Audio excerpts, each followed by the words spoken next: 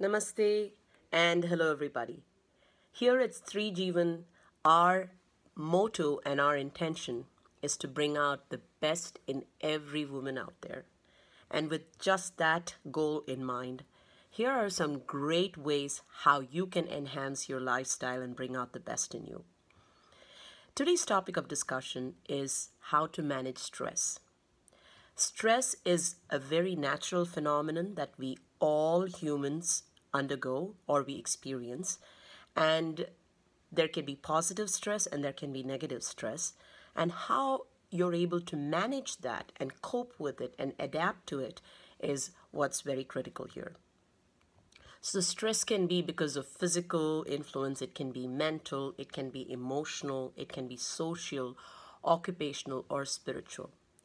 As your health coach and registered dietitian, Lalita Ramamurthy from Michigan, USA, here are a few tips on how you can manage your daily stress in the different um, ways that you experience it. So, for physical stress, keeping a fit body, exercising regularly, engaging in physical activities that you're passionate about, that you enjoy doing. It can be dancing, it can be biking, it can be a sport, it can be gardening.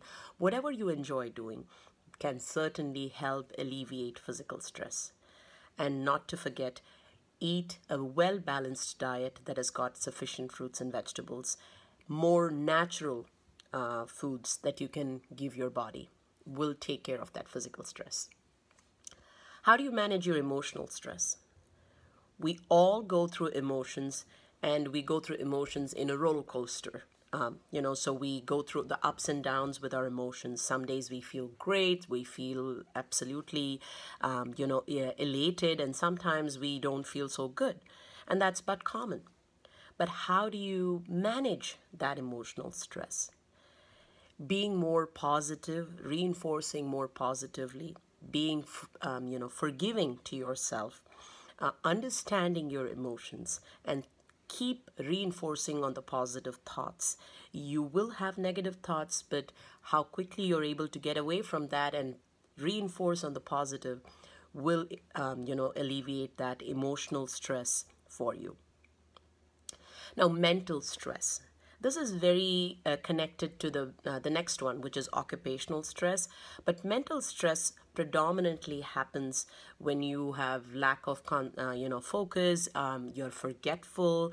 Um, you know you sometimes um, are not able to uh, concentrate on activities that you do. And this generally happens when you're overworked up. And that's why I said it's connected to occupational stress. So try and set reasonable goals for yourself, and this would be both for the occupational as well as for the mental. Um, give yourself some um, recreation time, you know, take breaks in between so that way you do not overwork yourself. And especially women being multitaskers, they want to be best at everything and they want to do their best at everything.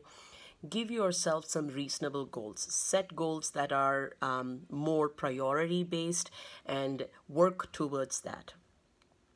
As far as social stress goes, it's very common in these days with all the social media available to get stressed very easily by, um, you know, the social gatherings that we have. Take what works for you and leave what doesn't work for you. There is some wonderful influence that you can get from social media. Take the positives from it and leave the negatives.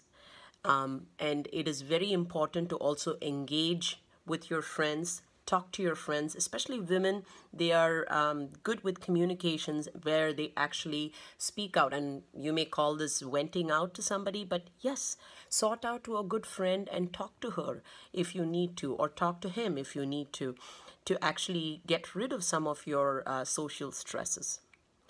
Lastly, spiritual stress. This is something which people really don't generally talk about and sometimes don't even realize this is a feeling of um, you know having no meaning in your life sometimes and people feel miserable sometimes and um, they're lost and they don't see the meaning for themselves.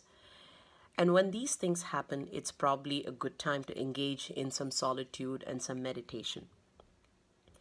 Believe me when you are able to give yourself that quiet time and self reflect on some of the things that you're doing and be more grateful and be uh, feel more blessed for some of these wonderful things that you have a family um, you know security and everything else that you have you're definitely going to balance that spiritual stress too I hope this was a use, useful session for all of you. Looking forward to many more such sessions with um, Sthree Jeevan. And this is your health coach and registered dietitian Lalita Ramamurthy from Michigan, USA. Stay tuned for much more and be your best.